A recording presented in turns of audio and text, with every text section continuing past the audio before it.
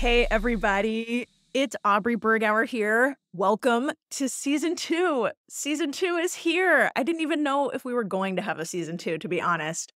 Season one, if you listened, you know this already, but season one was an experiment, and I was not sure how this podcast was going to go.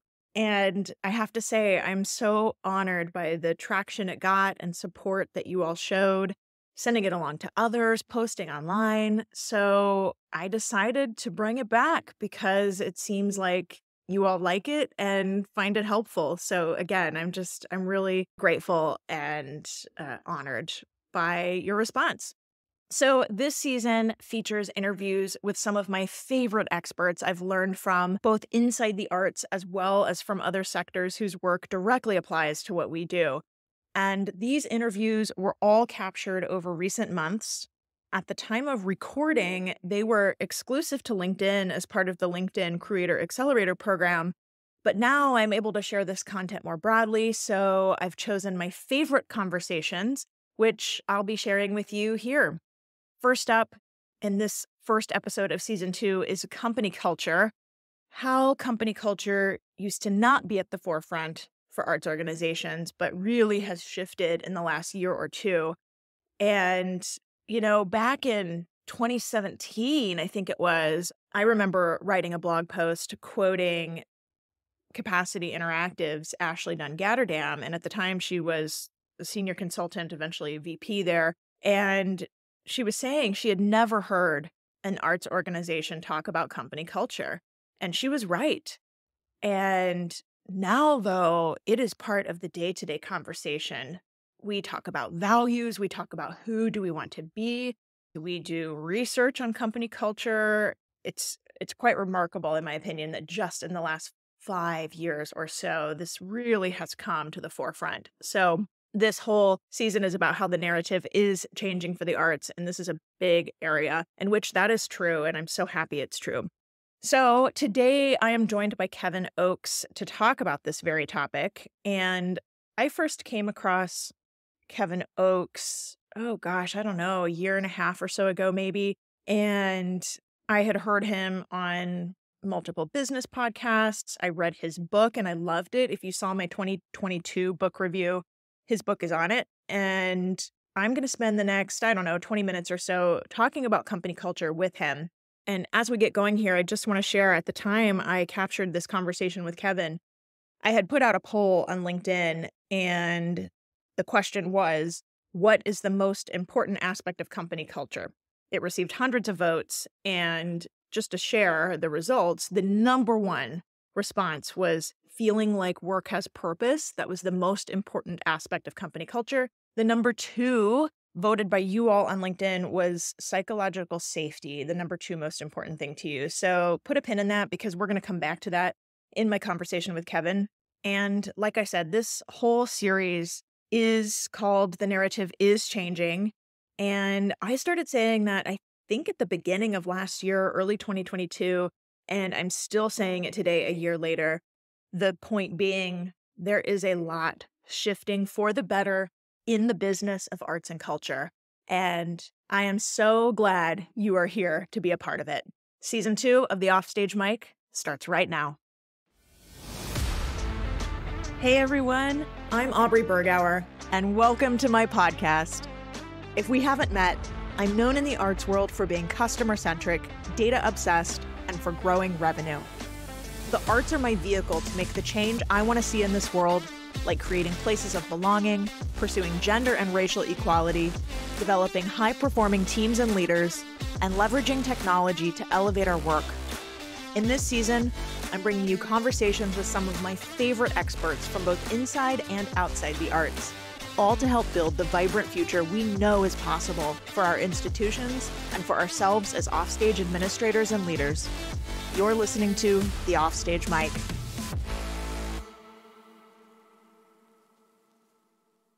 So today we're hearing from Kevin Oakes. Kevin is the CEO and co founder of the Institute for Corporate Productivity. They go by I4CP.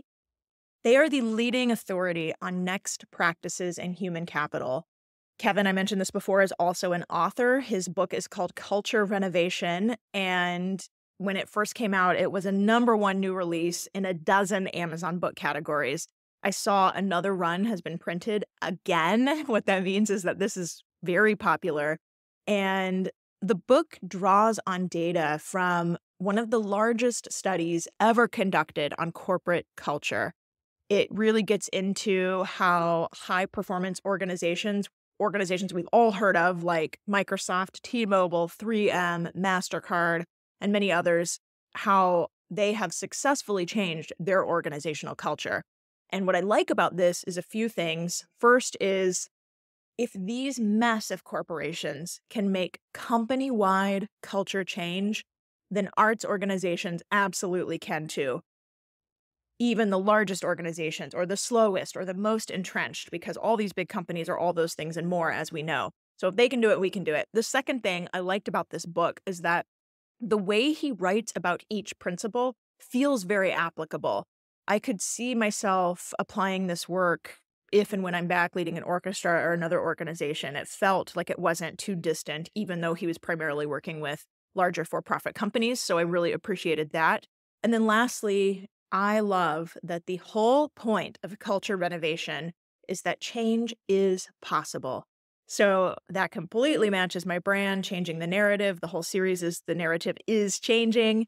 And it definitely matches what we're seeing play out in our field right before our eyes. So let's bring in Kevin. Welcome, Kevin. Thank you, Aubrey. That's a very nice intro. I appreciate that. First question Can you share an example of an organization or industry that is very slow to change? And then if you do have the end of that story that's good, that's even better. yeah, yeah. I well, as you um, correctly pointed out in the book, it's not only database, but there are a lot of stories in there about real life situations and companies that have undergone culture change, both on the good side and the bad side. And in fact, I write a monthly newsletter where each month I have a culture fail of the month. So I talk about some companies that probably could change. One company that I did profile in the book that I think has been slow to change, and probably won't come as a big shock, is Boeing. Boeing, anytime you have a large organization, it's going to be hard to change culture. But Boeing in particular has had some issues, you know, around their overall culture that has manifested itself into some real tragedies. And we all know the 737 MAX tragedies. And the US House representatives blame that on a culture of concealment in their investigation of those tragedies. And what they meant by that was there wasn't psychological safety, as you mentioned earlier, in the company at the time where engineers and others felt comfortable sharing some of their concerns. And that was one of the factors that led to those tragedies, unfortunately. Now, obviously, they're doing a lot to try to change that, and I think they're making some good progress. But they're one that I profiled in the book around, you know, the slowness to change the culture and some of the ramifications of it. Despite that, you know, I think when you look at some of the big companies that you mentioned that have been very successful in, in changing their culture, Microsoft was one that I featured early in the book. I think there's lessons there for any size company in any industry to take away and use within their own organization.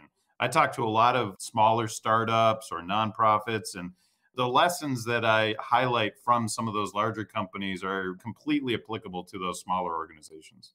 I want to hit on that a little bit more if you would. I think what is so interesting, I love the Microsoft case study. Many of you watching also know I lived in Seattle for almost a decade before moving to San Francisco. So that company was just so prevalent in my life. My ex worked there. I mean, so I feel like I saw this culture almost firsthand. And then reading about the change and now seeing everything Satya has done has just been really amazing. But my question out of this is to pick up on what you just said that there are so many things that you don't have to be a massive institution like Microsoft. There are things that smaller organizations can do to bring about this change. So, how to start is really the question. Where to start? Does this answer vary by organization size, or is it really sort of the same process no matter who you are or where you're at? Well, that was kind of why we wrote the book. I didn't set out to write a book. We set out to do a research study on culture change because we recognize that most companies who set out to change their culture they fail, and many fail miserably at trying to do so. And only about 15% actually succeed in changing their culture. And I've seen other research studies that have similar success metrics. what we were very curious about was that 15%. Was there some kind of blueprint that other organizations could follow if they want to change culture?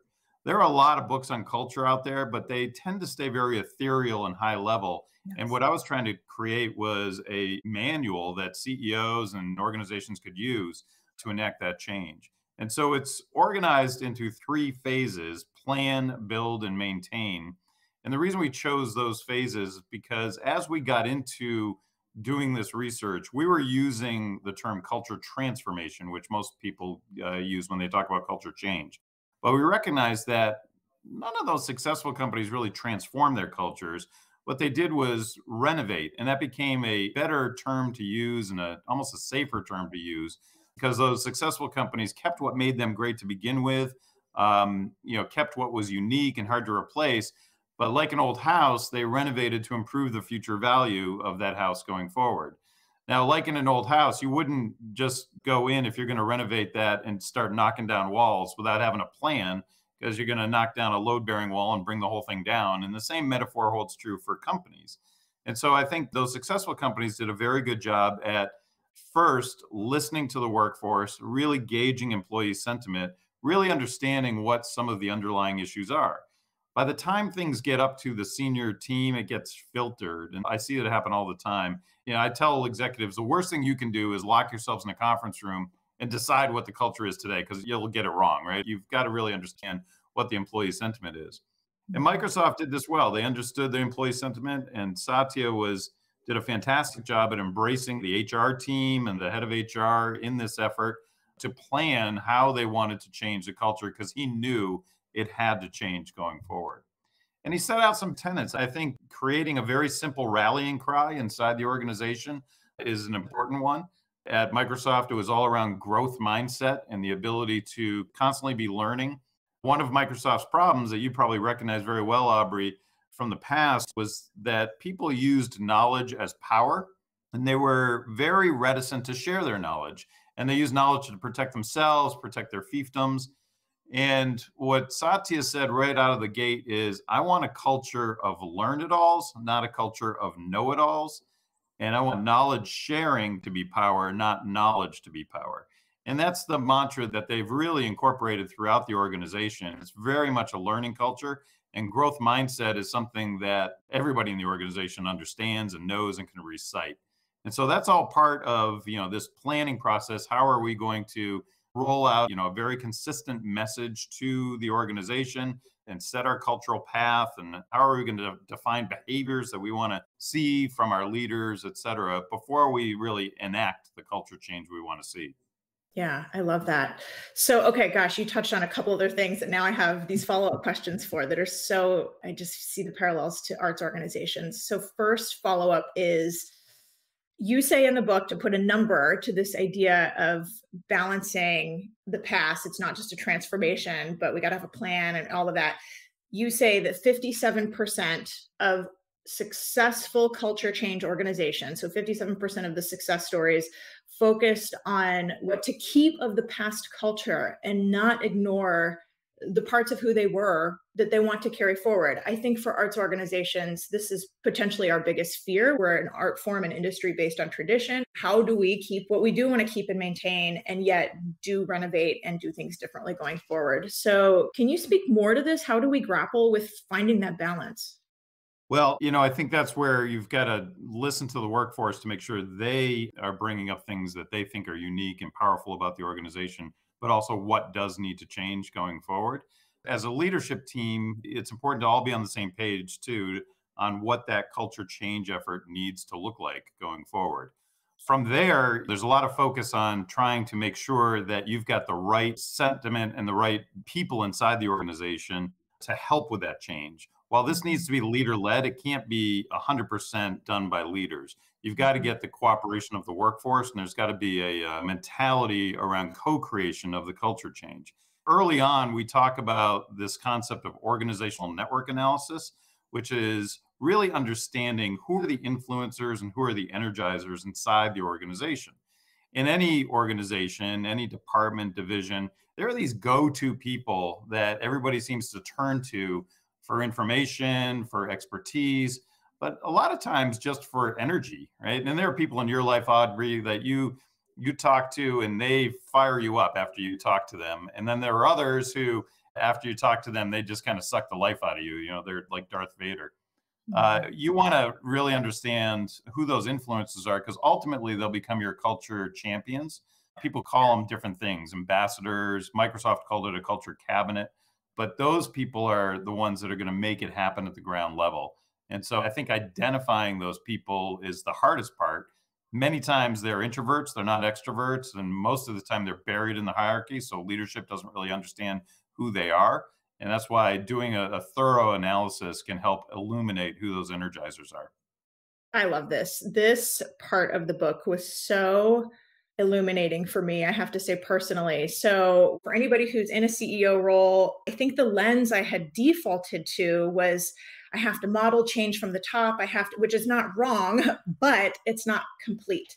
And so, this section of the ONA, organizational network analysis, identifying these cultural influencers within, I was like, right, right. And I've been on this personal quest over the last few years, I would say, of just really trying to learn how to better empower others so that everybody feels powerful no matter their level of seniority. Okay, so this all started coming together for me in this light bulb moment as I was reading. I guess my question is can you talk more about how to identify these cultural influencers? And then this is also coming in from the chat from Sunshine. Hi, Sunshine.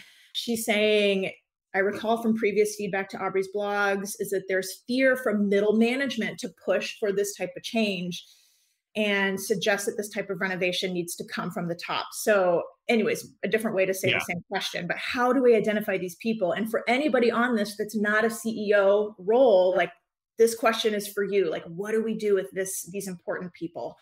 Let me start by saying it's hard to have culture change really happen if you don't have support from the top. So mm-hmm. I'll, I'll, mm-hmm. just say that as a blanket statement. Mm-hmm. It's not that it's impossible, but it's pretty hard to make that happen. And the way you get support from the top is to lead with data and back it up with stories from organizations that leadership either respects or maybe even fears so that you can get some of that buy in. But the hard work is really done in the middle. So that organizational network analysis is typically conducted through a survey process where you're asking employees who influences you, who do you need more time from going forward. It's really it's kind of a triangulation exercise to see who those indispensable people are. And we use this technique for a lot of things, not just for culture change. Right now, it's being used heavily to identify people who might be on the brink of burnout because everybody's coming to them and they're at the center of the beehive and it's very likely that they're just feeling overloaded. And those are the people you can least afford to lose. And you want to make sure that you are, are making it safe for them to speak up and say, hey, I'm overloaded, or try to offload some of that. But they're also the ones that are the most influential. And so that's why you want to understand who they are so that you can address them. You can use different techniques to also get at the same answer. Some people are monitoring Teams or Slack or email. I find that to be a little invasive as a normal process. So I we prefer the survey method of ONA. Critically important uh, if you're trying to change culture going forward. I mean, on one hand, a small organization, you can identify these influencers easier because you know everybody so well. Right. Um, okay, so it doesn't have to be so formal as a survey at that point. It's right. more organic and obvious. Okay, got it. Um, okay, so if somebody's not the chief executive, but they do want to push for change, do you have, you're right, it has to be leadership from the top, there has to be buy in. But I do hear a lot, to be blunt, from people all over who are just frustrated with their leadership. Is there anything somebody not in a position of traditional power can do to try to help yeah. push for the renovation we need? Well, like I said, I think data goes a long way. So the more you can use data to build your case for what you're trying to accomplish, the better off you are and back it up with real life examples. But you know, I, I do see there are a number of organizations where it's been a bit of a ground root effort, you know, where people have filtered up some things that need to be changed inside the organization and have convinced leadership of that. I would counsel anybody to just continue to push. If it's a company you care about, you know, make sure leaders understand that and understand what could change going forward. Because typically, if you fix the culture, the performance follows that's really the you know the number one mm-hmm. thing that I think is highlighted in the book and in the original research that every company that has had significant culture change has typically seen their performance improve over time. It's very, very rare that you have this wildly successful organization and the culture is horrible, right? Usually that doesn't happen, and it's much easier to fix the culture first. Love it. You're talking about data and storytelling. I mean, Kevin, you are speaking my language. I know we just met, but I I like eat this stuff for breakfast. I love it. Okay, so kind of switching gears a little bit here. Have you done any work with a company or their culture among unionized employees? And mm. I say this because so many arts and culture organizations do work with in classical music, it's the musicians union, it's our stagehands union. You know, the opera companies have AGMA, the Actors Guild, you know, all these things. So unionized culture has its own set of challenges, I would say. Right. Right. And I don't mean to speak with in too many generals or too broad of a brush, but it does have its own set of challenges. Yeah, no, and, Can you talk about that? so I've never been part of a union uh, personally, but I uh, understand the challenges, and we certainly work with a lot of companies that are unionized and have powerful unions, and so it adds a layer of complexity to the whole process but not unlike um, where you have different offices in different parts of the world mm-hmm. or different divisions. You're always going to have microcultures inside the mm-hmm. organization. And sometimes that happens in, you know, what you just described from a union perspective. From an overall organization perspective, you want to have a purpose, and I talk a lot about this in the book, the importance of an overarching purpose that those different factions can rally to that purpose should cascade down into the behaviors within those departments, divisions, the unions, and have values that also cascade down into those groups. So that even though you do have some microculture nuances within each, everybody is very clear on what the broader culture should be and what the broader purpose is. And I think that's part of painting that vision for the future that I talk about in the book and there's some good examples about companies that did not do a good job of painting a vision for the future. Usually it was a CEO or a new leader who came in and blamed the past, you know, and blamed the predecessor, as opposed to let's ignore all that. Yeah, it happened, but we're going to focus on what we want to see for a brighter future tomorrow. So that to me is what some of the best leaders do and some of the best organizations have done in order to rally all those microcultures towards their vision. Yeah, I like that. Yeah, lots of microcultures, not that different than a global brand that has offices all right. over. Yeah, I like that. I appreciate that analogy a lot. Switching gears a bit here, I want you to weigh in on the future of remote work. So mm. this is like changing in real time before our eyes. And I know the book yeah. has been out for a year, so I don't mean to sort of put you on the spot too much, but some parts of our organizations require in-person work. We put on performances, right? But some right. parts of our job don't require us to be on site. So, does any of your research shed light on how company culture intersects this changing nature of our workplaces? Yeah, I think it's one of the reasons why the book has continued to be so popular because I think organizations are are looking at the move to remote work and how is that affecting our culture overall. We do more HR research than just about any other organization on the planet. And so you can imagine that during the pandemic, we've just done a ton of research on hybrid work situations, flexible work situations. We have a brand new study coming out that has examined that in depth. We really feel like we'll never go back to the way it was. You know, we are in an era now that people have to accept that employees will work remotely. Employees are demanding that of their current companies, they're demanding that when they go look for new jobs to have that flexibility. But there's a big difference between hybrid and flexible work, in my opinion. Meaning that a lot of companies are saying, okay, we'll we'll allow hybrid work, but you got to be here Monday, Wednesday, Friday, and you know certain hours in the day. That typically is not what employees are looking for. And anytime you put a blanket policy across a whole group, you're immediately creating exceptions. You're immediately creating a situation where that doesn't work for everybody. And what several organizations are moving to is truly flexible, which means the manager and the employee work out what's going to be best for the organization and best for the individual. And truly flexible work might mean I'm working remotely all the time, or I am coming in when I need to to the organization. Or the flip side is there are a number of employees who really want to get back to the office. They have better bandwidth there, it's more quiet than their home situation, what have you. So you give them that flexibility as well. Uh, true flexibility is something that we're seeing being embraced by more and more organizations versus this sort of forced hybrid that I keep seeing in some companies. And yeah, it's it's changing things for sure.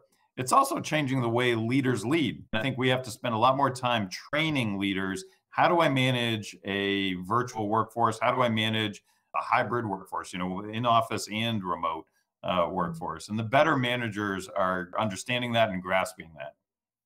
The better managers are understanding that and grasping that. Amen. All right. I have only about 5,000 more questions I could ask you, but uh, we have come to the end of our half hour together. I just want to say, as we're wrapping up, first and foremost, thank you, Kevin. Like I said, I'm just a fan of the book. One more time, the book is Culture Renovation by Kevin Oakes. It's been out for a year. I just learned it's in its fifth reprint. And I just, I really enjoyed it because it does feel so applicable. And just hearing you speak here just reinforces that, that these really, it's not just pontification. It's really talking about how do we apply these principles and research to our own organizations. Thank you, Kevin. Uh, we're going to call it for Thank today. you, Aubrey. Appreciate it. you are so welcome. All right, everybody, take care and we'll see you next week. Take care. Hey, offstagers. One of the top things I hear from individuals all over, something people are increasingly wanting, is people who say, I want more connection with like minded colleagues. If that resonates, I created a new community and you're invited to join. It's an online gathering place for arts and culture professionals wanting a different, stronger paradigm for the industry. It's a place for those not satisfied with the status quo for arts and culture, who believe there is a better way forward, and that the future of the field doesn't have to be all doom and gloom. It's a place of people trying to navigate the ins and outs of careers in the arts and want smart, growth mindset type people alongside them. It's a place called the Changing the Narrative Community. I'm so excited by the folks who've already joined, and no matter your artistic discipline, geographic location, role, or years in the field, you are welcome and invited as well. Visit aubreybergauer.com slash community the narrative is changing, and I hope to see you there soon. And we're back. Today on Top Tunes, the music Is it just me, or does this sound terrible? Wait, I think I heard of someone who might be able to help us. There's this company called Novo Music. They provide across the board audio solutions from recording repair to audio editing to original music and sound design and beyond. Well, what are we waiting for? Today on Top Tunes, the Now music Now that's better. Novo Music, conducting your creative vision. Find out more at novomusic.co. That's all for today, folks. Thanks so much for listening, and keep up with more content like this by following me on LinkedIn or Instagram at Aubrey Bergauer. Definitely hit that follow button to subscribe to this podcast. And if you liked what you heard here, will you consider leaving a review or rating? I'd be so grateful for your help and support in that. Thanks again. See you next time on the Offstage Mic. The Offstage Mic was produced by me, Aubrey Bergauer, and edited by Novo Music, a studio of all women audio engineers and musicians. The narrative is changing for arts and culture, and I'm so glad you're here to be a part of it. This is a production of Changing the Narrative.